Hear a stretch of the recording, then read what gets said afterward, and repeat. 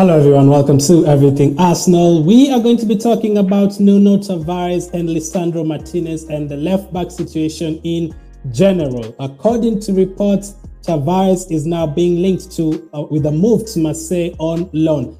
A couple of days ago, we did hear that um, Tavares was being linked to Atalanta, but the reports say that Arsenal wanted that something like 30 million, like cash, like upfront, to be paid for us to sell him to Atalanta. But that that does sound like a lot of money. Yes, we did sign him for was it like around eight million pounds or something, and for Atalanta they just wanted him on loan, but Arsenal kind of rejected the loan at first talking about they wanted to sell him on a permanent deal and they were asking for around 30 million pounds. Now, I do understand that because obviously he joined us just less than a year ago. He's very young. And uh, I do understand the, the fact that Arsenal don't want to be bullied in the transfer market because I always say, how comes Chelsea? How, when was the last time you saw Hudson Odoi playing for Chelsea? Chelsea are able to sell someone like that for 40 million pounds. Why can't Arsenal do that with our own players? So I'm, I'm not I'm not um, complaining about Arsenal asking for that kind of money. But um, Atalanta were not willing to pay it, so it kind of went quiet for a day or two. And then today we are hearing that Marseille are about to get Tavares on loan, or they want him to go there on loan.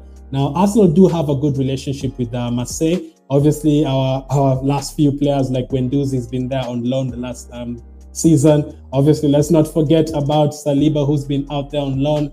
Kolasinac went there as well. So we do have a very, very good business relationship with um, Marseille. They want Tavares out on loan as well with an option to buy. So if he does well for them, they have the option to buy him.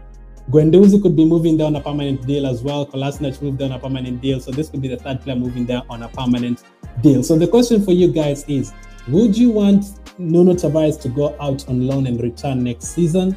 Or do you just want to sell him up front, get the money? If you can get something like 25 million pounds, just sell him. You've made a profit on him. Have you seen enough of him? Do you think he's not going to improve at Arsenal? Personally, I'd say he's very young. Yes, he did make a, few terrible mistakes last season, like the foul throw that cost us the goal against Newcastle. The same things we've been complaining about with Bellerin. Tavares was doing a lot of them last season. He's very young, though. The first part of the season, he played really well. Um, he even put Tierney on the bench for a couple of games that had me worried for Tierney. But right away, when Tierney came back, you could tell the difference between the two players. One is very established and one is very young. But personally, if it's a loan deal, I'd like to send him out on loan to a Premier League team, like a Fulham or a Brighton or teams like those. Like, I'm not a fan of sending uh, players out to France or those kind of countries. Italy, yes, the leagues are still very good. Uh, but people call the French league a farmers league, but the leagues are still very good. You're still going to play against teams like PSG, AC Milan, Juventus. The league is still very good. But personally, I prefer him to get Premier League experience. Whatever you, you do in France and Italy is not the same as England. So I'd prefer him to play in, uh, for like a Fulham or a Brighton, those kind of teams, or even a Newcastle. I don't know if they would want him.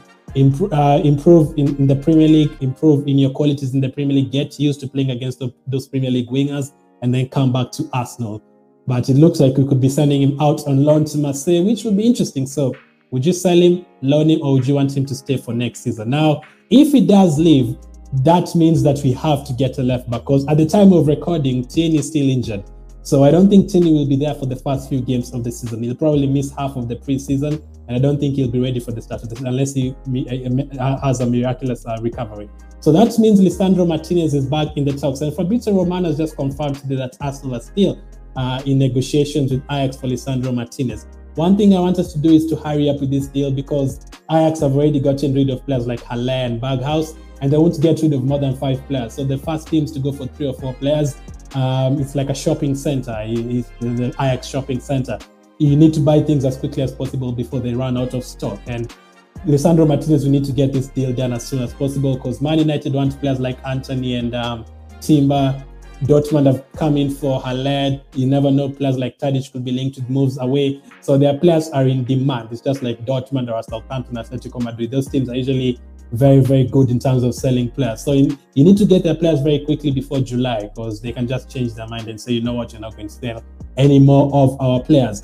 So we made a bid of 30 million. It was rejected. Let's see how much Arsenal will go in for this talk of about 50 million. But now that we're talking about signing Raphinha and Jesus. That's over 100 million. If we did indeed have um, 215 million to spend, this if we sign all these three players, that would take it above 160 million. And since we had already signed Vieira and Marquinhos, that will be it for the transfer window. I can't see us getting any more players because that is an expensive window. That will be one of the most expensive windows we've ever had in Arsenal's history. So I think the fact that Tavares could go out on loan, that definitely means we're going to sign a left back. And we are going for this kind of players who can play as a centre back and left back and right back.